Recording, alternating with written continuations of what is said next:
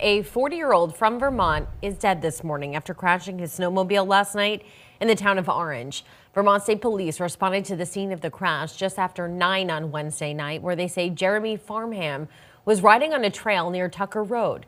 First responders transported him to a hospital in Berlin where he died from his injuries. An initial investigation shows the 40 year old was riding his snowmobile when he failed to make a turn and went off of the road.